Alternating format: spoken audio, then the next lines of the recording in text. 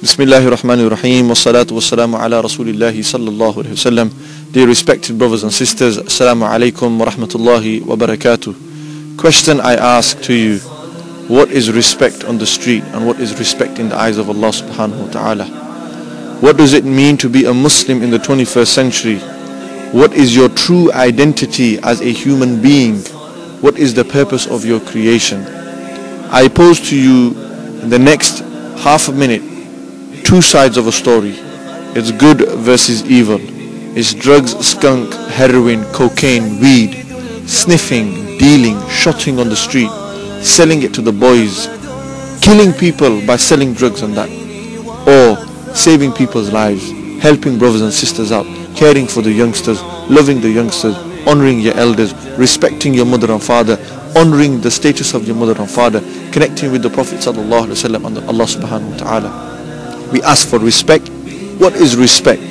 Do you really know what respect is? Do you really think it's respect wearing Armani jeans and wearing G-Star jeans with low backs and having flashy hairstyles, V-cuts and having zigzags in your head and you think you can walk it with the swagger and you think you're 10 men on the street and you can pump iron and you got some big arms.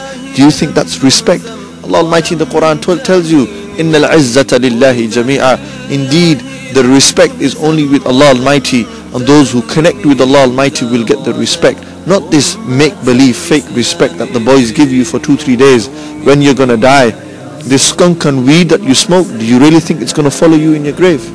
Do you really think these birds that you are dealing with and you're playing with and these sisters that you're going out with, do you really think they're going to remember you? All of this is make-believe, my brothers and sisters. This will only stay behind here.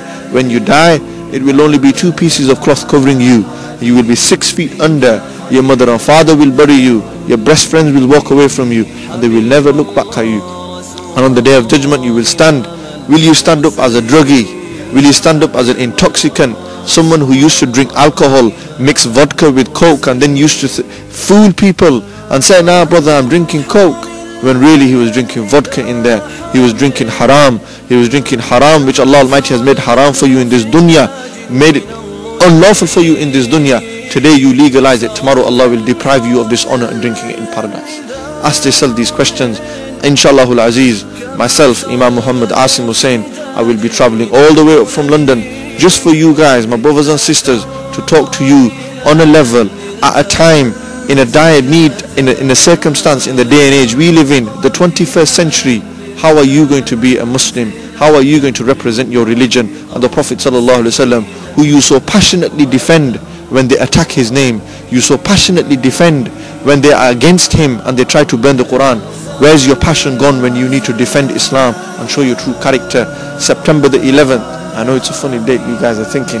September the 11th in Halifax, Jamia Masjid Ghousia, Rhodes Street. I will be there live at 6 p.m.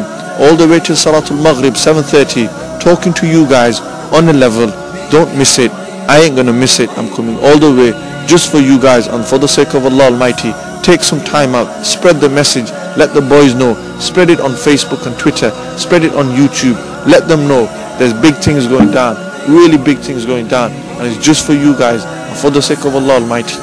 Remember me in your du'as. I'll see you then inshallah. Assalamu alaikum wa rahmatullahi wa barakatuh